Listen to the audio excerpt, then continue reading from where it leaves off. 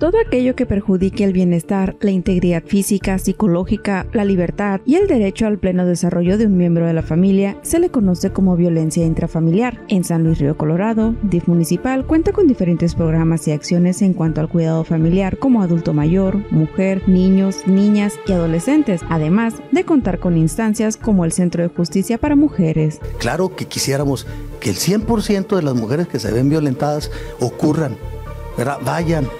denuncien en el Centro de Justicia para las Mujeres o en DIF municipal o eh, la autoridad municipal. Del 2021 al 2023 se tuvo un descenso en cuanto a reportes de violencia intrafamiliar, pues de 6.144 denuncias que hubo en 2021, este 2023 San Luis cerró con 4.522, es decir, una diferencia de 1.622 reportes. Donde estamos compartiendo a nivel nacional eh, eh,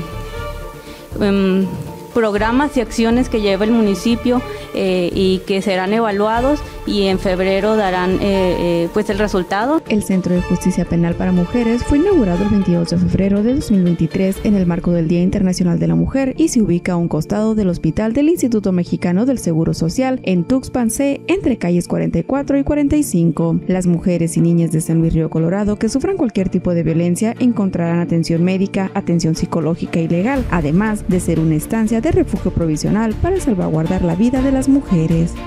Midori Becerra, Mega Noticias